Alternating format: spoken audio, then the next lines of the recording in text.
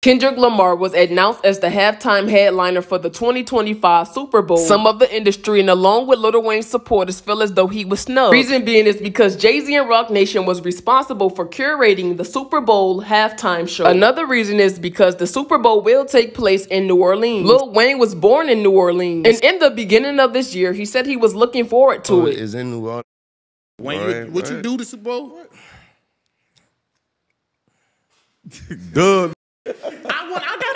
I want. I gotta ask. You got. I'm just. It's a question, Wayne. I know. I know the answer, but I gotta ask you. Of course, the Super Bowl is in New Orleans. Um, I think it's in 2025 or something like he that. I'm doing not, it. I'm not sure. Not, I'm not, I'm not Wayne, sure. come on, man. Say I'm it, not Wayne. sure You what gotta shit. No, say I, it, no, I don't. They know. I, I can. I will not lie to you. I am not have not got a call. Hey Jay, like when I'm on, I'm that, camera so- folk. Jay, But we all praying, you know, we praying, we keeping our fingers crossed. I'm working hard. I'm gonna make sure this next album and everything I do is killer.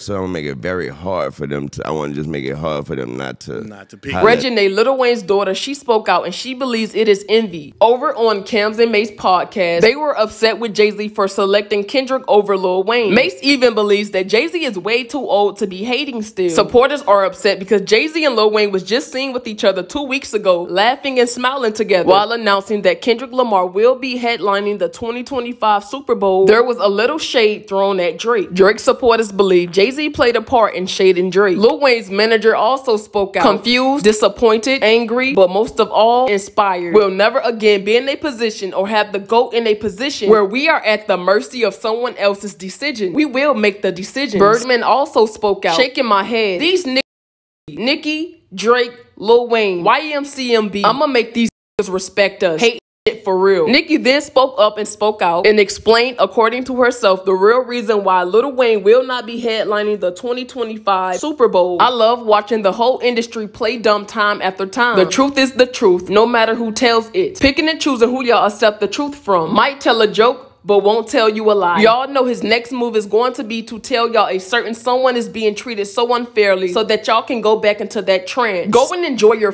money before it's too late. One N-word took a knee. The other N-word took the bag. He gonna get you N-words in line every f***ing time. Got everything in the world. Still spiteful and evil. Disgusting. Be happy. Go be f***ing happy in rap business, in women business. When you got the politicians and the police, you good though. Plus that ugly Laffy Taffy alien tried to tell y'all, but y'all wanted brunch. Denying a young black man what he rightfully put into this game for no other reason but your ego. Your hatred for Birdman, Drake, and Nicki got you punishing Lil Wayne. Lil Wayne? The GOAT? Nola, what's good? Eminem stood firm on having 50 Cent come out. A white man. It's sad. House your. No loyalty? Well, then will keep sunning you. And by the way, you don't know the half of what Lil Wayne has done for me and others. Wayne had Drake and I on his tour with no paper signed. He was on all of my mixtapes with no paper signed. This man has literally changed the face of hip hop. The hair too. If you know, you know. He inspired so many to tat their faces and get locks. Inspired your face to want to be a great MC. He never was in this for money. It's always been for the love of music.